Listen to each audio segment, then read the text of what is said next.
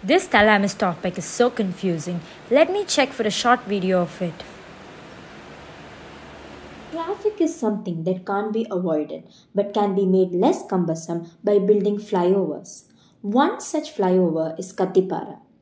You might be thinking this is about flyovers, but hold on. Thalamus is no different from Kathipara. Just like how Kathipara has different routes to reach your destination, Thalamus has different tracks to reach different areas of the cerebral cortex.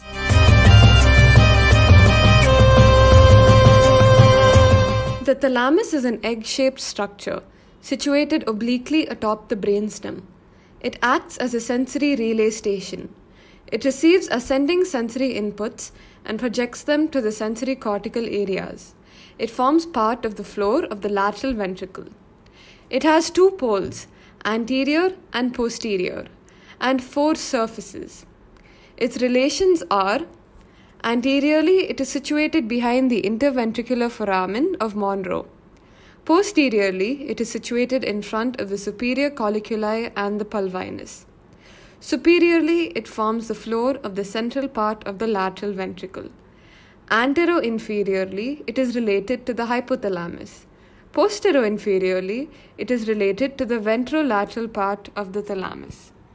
Medially, it forms the lateral wall of the third ventricle and laterally it is related to the posterior limb of the internal capsule. Thalamic nuclei are composed of a number of discrete nuclei. Thalamocortical and corticothalamic fibers form the external medullary lamina.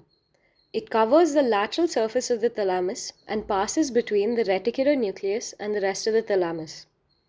Thalamic nuclei are of three types the anterior, medial, and lateral. These are separated by a Y-shaped internal medullary lamina. Anteriorly, the thalamus contains the anterior nuclei. Medially, the thalamus contains the medial nuclei, the midline nuclei, and the intralaminar nuclei.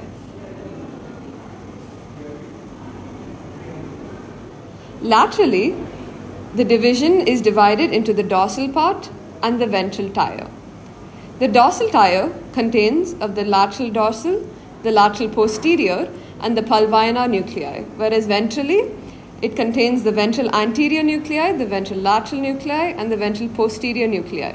The ventral posterior nuclei is divided into the ventral posterolateral nuclei and the ventral posteromedial nuclei. Furthermore, there are the medial and the lateral geniculate bodies, which help in auditory and vision respectively. Physiological classification of thalamic nuclei is classified into four parts specific relay nuclei, association nuclei, non-specific nuclei, and motor nuclei.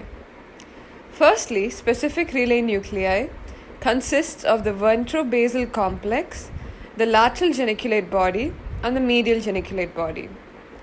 The association nuclei consists of the pulvinar, dorsal nuclei, and the lateral posterior nucleus. Non-specific nuclei consists of the intralaminar, midline, centromedian, and reticular nuclei. And finally, the motor nuclei consists of the lateral, ventral anterior, and the ventral lateral nuclei. Afferents and efferents of specific nuclei. Lateral ventral nuclei receives afferents from dentothalamic and pallidothalamic tract and gives efferents to the thalamocortical tract, motor area number 4 and 6. Posterior ventral nuclei receives afferents from th- uh, spinothalamic fibers, trigeminothalamic fibers, and medial lemniscus and gives afferents to sensory cortex area number 3, 1, and 2. Dorsal lateral nuclei receives afferents from parietal lobe and gives afferents to the parietal lobe. Pulvinar nuclei receives afferents from parietal, temporal, and occipital lobes and gives afferents to the parietal, temporal, and occipital lobes. Lateral geniculate bodies receives afferents from optic tract and gives afferents to the visual cortex. Medial geniculate bodies receives afferents from cochlea and the inferior colliculi and gives afferents to the auditory cortex. Afferents and efferents of non-specific nuclei. The anterior group of nuclei receive afferents from mammillothalamic tract. They give out afferents to the cingulate gyrus. The midline group of nucleus receives afferents from all ascending fibers and from the hypothalamus and reticular formation. It gives out afferents to neocortex, basal ganglia, and the hypothalamus. Intralaminar nucleus. It receives efferents from the reticular activating system and basal ganglia. It gives out efferents to neocortex and prefrontal cortex. The dorsomedial nucleus receives efferents from the hypothalamus and prefrontal cortex. It gives out efferents to prefrontal cortex. Functions of the thalamus include sensory functions, special senses, which divide into vision, which relays in area number 17 of the cortex, auditory, which relays in area number 41 in the cortex, and olfactory. The thalamus also regroups impulses, helps in sleep and arousal, and learning and memory. Coming to the applied aspects, lesion of the VPL occurs due to the thrombosis of the posterolateral branch of the posterior cerebral artery. This results in severe impairment of discriminative touch and pressure sensations of contralateral side. Also, sensory symptoms like astereognosis and loss of tactile sensations occur. Lesions to the posterior lateral nucleus which relay cerebellar impulses to the excitomotor cortex, areas number 4 and 6. Profound muscle weakness, decreased muscle tone, and ataxia is seen. A typical thalamic hand will have abnormal posture like moderate flexion of wrist and hyperextended fingers. Since the posteroventral nucleus of the thalamus relays skin, any thrombotic blockage of thalamo-geniculate artery causes lesions to the nuclear mass, resulting in loss of light touch sensations, tactile localization and discrimination, proprioception of small movements at joints, and thalamic overreaction, wherein the threshold for pain, touch, and temperature sensation is reduced, leading to hyperalgesia and paralgesia, in which a slight touch sensation becomes an exaggerated and disagreeable pain or burning sensation. The next day. Hey Sadhana. Hey, do you remember my father who was acting unusual recently? Yeah, I do. It seems he has thalamic syndrome. Oh, is it? Could you please tell me what exactly happened? So tell me, what seems to be the problem? Doctor, six months ago, he seemed to have had a stroke like episode. Now his actions have been quite abnormal. So they have been like. Flashback. Hey Mithun, you didn't cut your nails in this hand. It looks really dirty.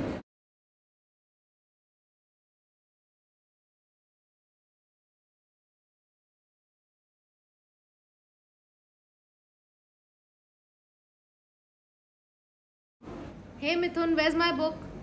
What book? The one I gave you yesterday. Which book? You seriously don't remember? A flashback. So, did you consult any doctor after the episode? We visited a few doctors and they gave us different diagnoses and they told us to take a few reports, doctor, which I have with me right now. Did you take an MRI? Yes, doctor, I'll just send you the email now. Can you check if you received it, doctor? Yeah, sure.